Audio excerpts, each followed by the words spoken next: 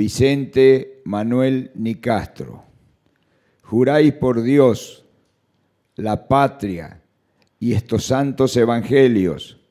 desempeñar con lealtad y patriotismo el cargo de secretario de Estado de Transporte y Seguridad Vial.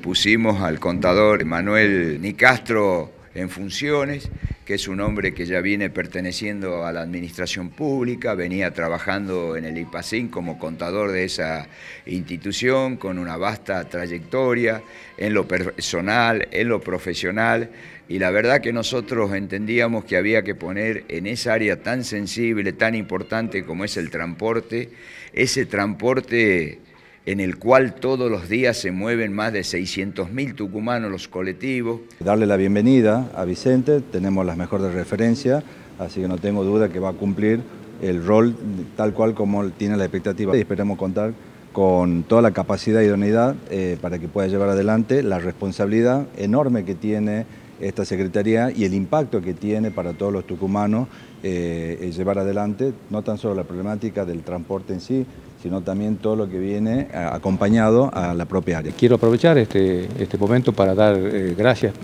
públicamente a esta convocatoria que se me hizo y la posibilidad de sumarme a un gran equipo de trabajo para poder brindar, como decíamos, y hacer posible que eh, el esfuerzo de todo el, sector llegue a los